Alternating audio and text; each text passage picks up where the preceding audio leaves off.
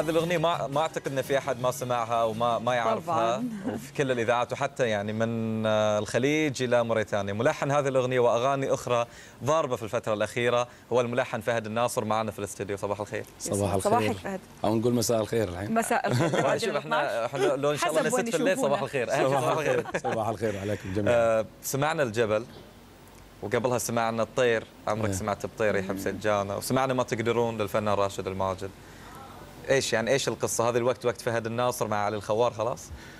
والله يا أخوي شو اللي صار؟ اللي صار إنه يعني هو التقائي بعلي الخوار. هو طبعا صاحبي من زمان بعيد عن الشغل ولكن نوجه له تحية. إي والله ونمسيه بالخير. ولكن اللي صار إنه في ظل غياب الإنتاجية اللي صارت للألبومات بدينا نشتغل يعني أغاني single single. و وبلشنا شيء عشوائي. والله ما كنا نقصد يعني الموضوع ما ما له قصد يعني. بس ضربت يعني كل كل الناس الحين أغنية الطير وما تقدرون والجبل.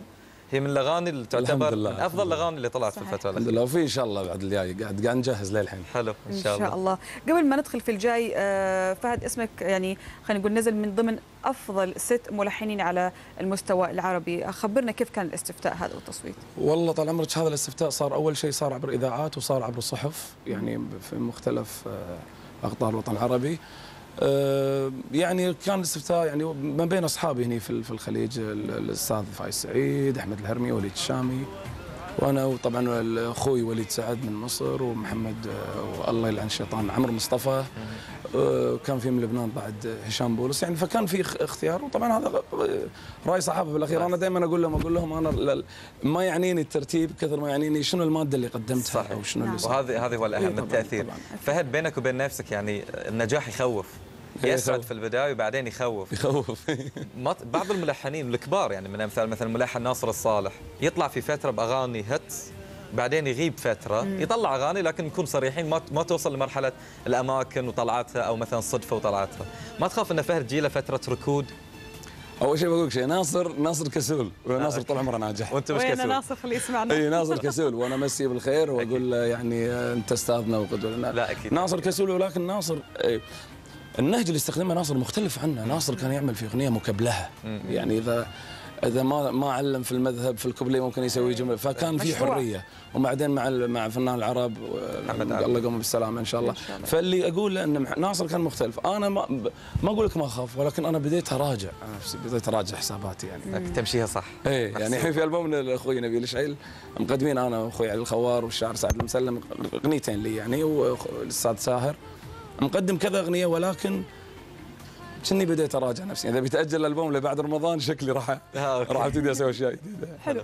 التجديد دائما مطلوب طبعا. نعم. وأنت بدات تدخل يعني مثلا زي الرمبة على أغنية محمد عبده ال- الأخيرة.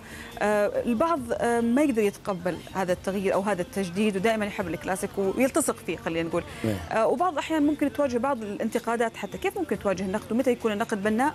ومتى يكون النقد تحس إنه هو مجرد لأجل النقد فقط والإساءة؟ والله يا لجنة تدرون أنا شو أسوي؟ أنا من أحس إن الأغنية ما ما عليها علامات استفهام. أنحاش سكر جستي أنحاش أقول لهم يا جماعة اعطوا نفسكم وقت خلي الأغنية يعني خل يستوعبوها. إي يستوعبوا اللي قاعد أسويه صح.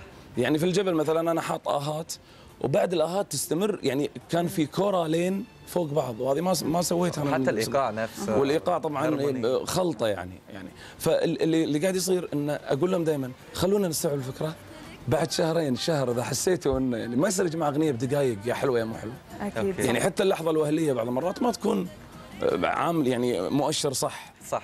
فاقول لهم أعطوا نفسكم وقت. حلو. وإذا ما عجبتكم بعدين ما اوعدكم ما أجازف. خلينا نرجع لموضوع الأستاذ علي الخوار. يعني المشكلة الحين لما نذكر اسم الأستاذ فهد الناصر ما نقدر نغفل اسم الأستاذ علي الخوار. بعض الناس يخافون من هذه الثنائيات إنها توصل مرحلة من انها ما تقدر تتجدد.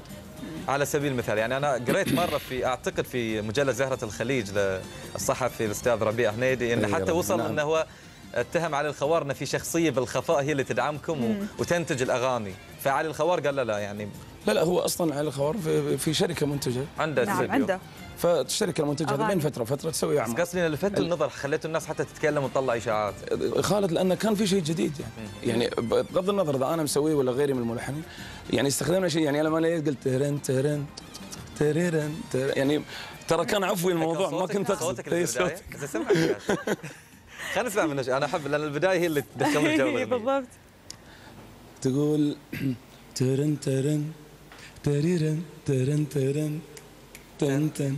عمرك سمعت بطير ويحب سجانه إن شافك أنت نسى وش تعني جنحانه أنا تراني طيرك اللي يحبك موت.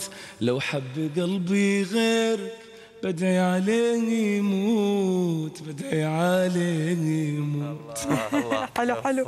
طيب فهد كيف تقدر تتلافى أنك أنت ما تكرر نفسك بالذات بالألحان؟ يعني في بعض الملحنين من كثر التلحين يبدؤون يعيدون حالهم. أمس كان انت أمس sorry أمس كنت في نفس النقاش هذا مع أخوي الغور والشباب. يعني أقول لهم يا جماعة إذا حسيت نفسي ما أبي أسوي شيء ترى ما راح أشتغل. لا تشتغل يعني دائما أقول هالكلمة.